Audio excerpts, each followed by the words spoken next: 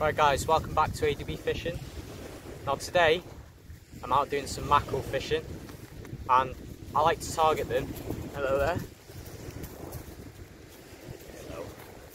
It's a nice little flesh, see?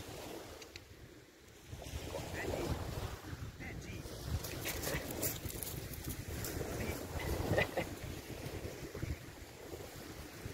now, when I like to do my mackerel fishing, I like to use a bass setter basically. This is a bass rod, Techlon Concept Spin, um, and this is rated at 10 to 40 grams. Now I love this rod myself. I've had my first local bass on it. Um, I've had plenty of mackerel on it. I had my good sea trout. I'll, I'll show you a picture of that sea trout and I'll get to that later. But I like to target mackerel with a little jig. This is a sidewinder jig. I think that's like a scad pattern or something. Small little scad. And then I have three or four feathers above the lure.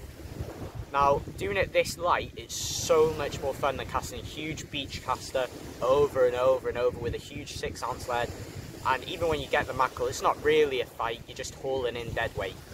So doing it like this, if you get four mackerel on like I had the other day, your reel is screaming, you've got a bend in your rod, you've got to proper play them. It's just so much more fun that way. And also, doing the little jig, means normally if there's mackerel there, the bigger mackerel take the jig. If there's bass there, they'll normally take the jig. And like what happened to me yesterday, a really nice sea trout took my jig.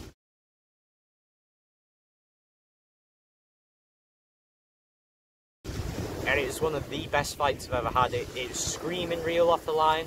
Um, I couldn't really control it, but it was great to let it go. It was three pounds seven ounces it weighed, quite a, it was a skinny fish though. I imagine if it was um, I'd been feeding quite a bit, it would have been a lot heavier. But I'm gonna chuck this around for a bit. It's a lot rougher than it was yesterday, and the wind's quite um, strong as well. So I'm I'm not too confident that they'll be about as much as they were yesterday, especially as close in.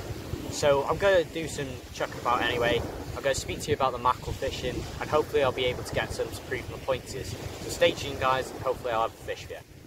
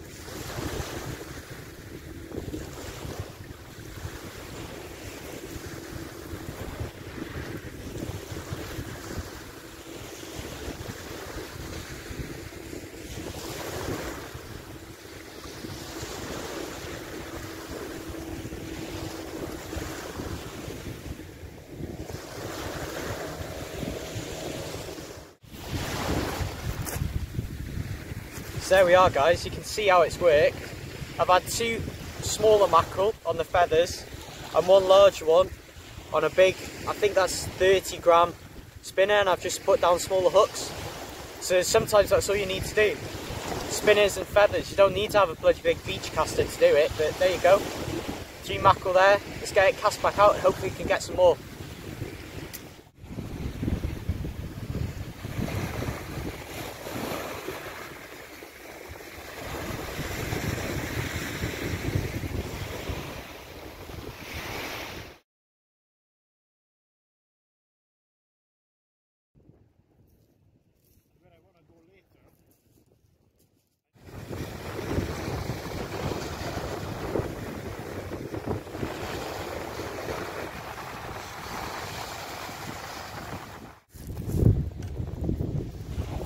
There we are guys, another one, this time on the feather, just above the spinner.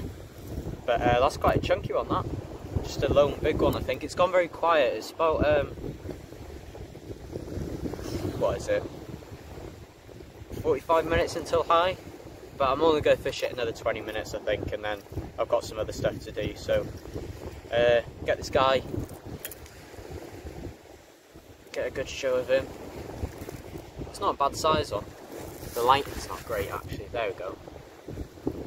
Uh, there you are. Nice. It's a bit skinny but perfect for bait, so I'm happy with that. Get in the cool box and hopefully we'll get some more.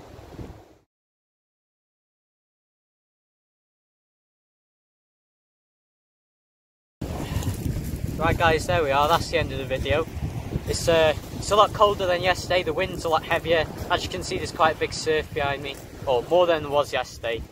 But I managed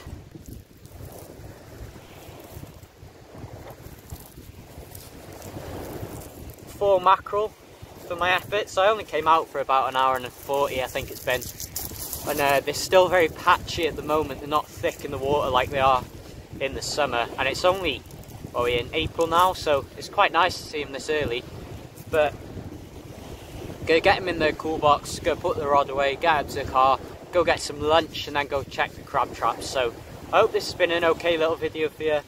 Sorry I couldn't uh, chest mount anything and then get the fights on camera, but you've seen what I use, just a little spinning rod, small 3000 size reel, a little uh, jig, and then some feathers above it and that's in my opinion the best way to do it you get way more fun out of it that way and you're not hammering all the fish stocks so hope this has been an enjoyable video thank you guys for watching i'll see you in the next one